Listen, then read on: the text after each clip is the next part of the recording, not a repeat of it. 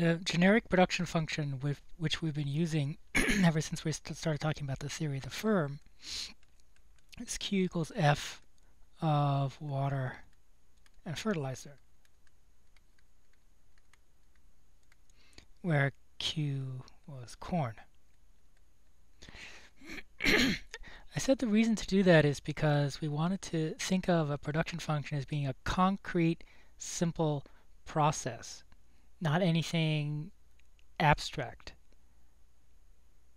The textbook and essentially all other textbooks in intermediate microeconomics instead uses their genetic generic production function q equals f excuse me of L and K where L is labor and K is capital.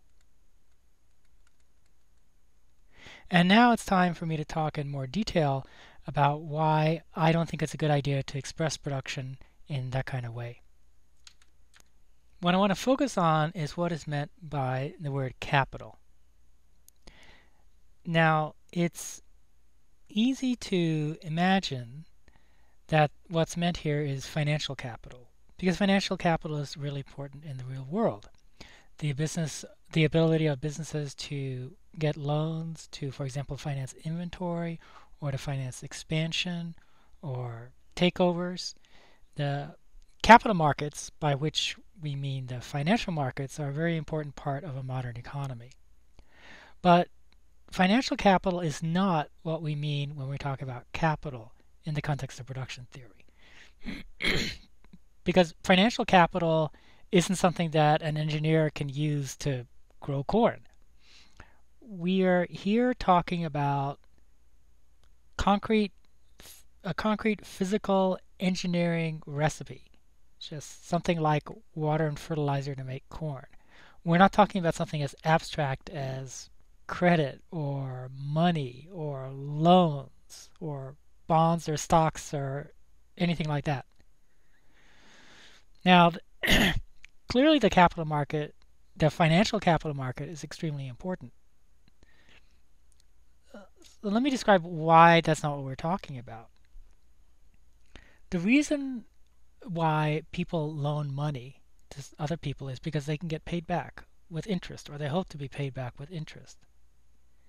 So you loan money to someone at one point in time and you hope to be paid back at another point in time. The borrower uh, wants money now and agrees to pay more money back later. So there's a difference in time. We here are talk, have been talking about production processes where we haven't been mentioning time.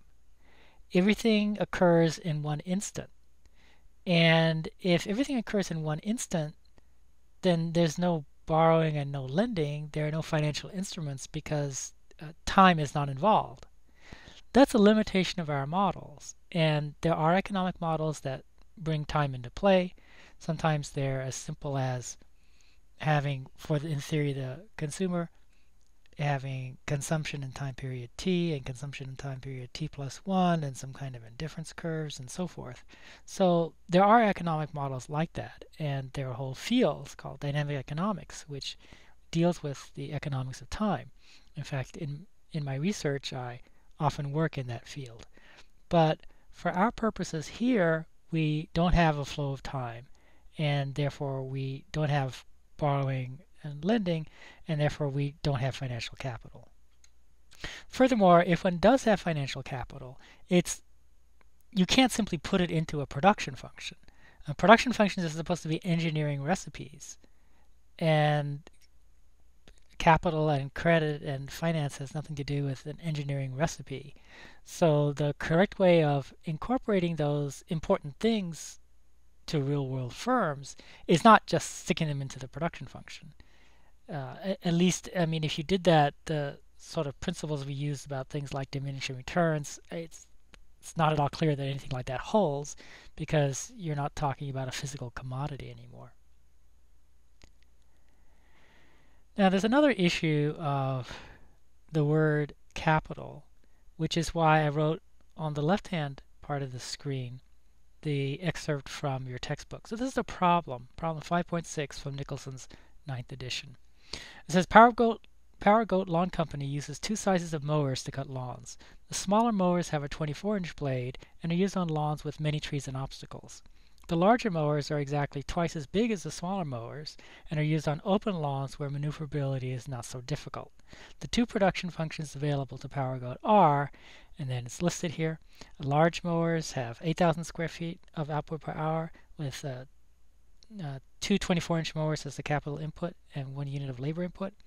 And the smaller mowers use one unit of labor, one unit of capital, and 5,000 and produce 5,000 square feet. Now, the, and then Nicholson goes to ask some questions about this. And I'm interested in the questions that Nicholas that, that Nicholson asks. Instead, what I'm interested in here is just the idea that he's working really hard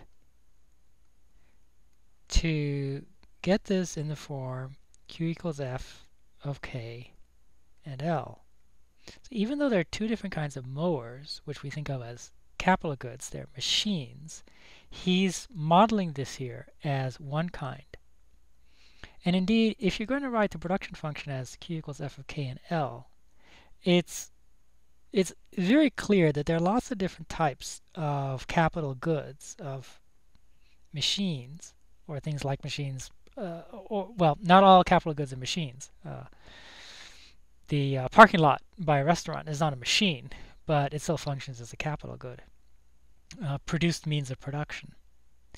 So there are lots of different kinds of capital goods, and if one wants to write a production function simply as f of, of L and K, then you need to find some way of combining all those different capital goods into one thing called K. Now the the process of combining a whole bunch of things into one thing is called an economics aggregation.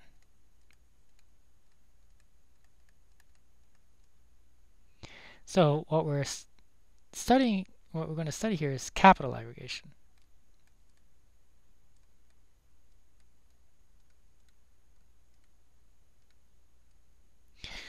But the general principle of or general problem of aggregation isn't isn't confined just to capital. There are, of course, also different types of labor, and so there's labor aggregation. There are even possible issues of aggregation in consumer theory. And what I'm going to do next is talk about aggregation in the context of consumer theory because you understand consumer, consumer theory better now than you do production theory. We're just starting to learn about production. And the issues will be highlighted in consumer theory pretty starkly. Then we will come back and see how the lessons from cons consumer theory aggregation can be applied to a discussion of capital aggregation.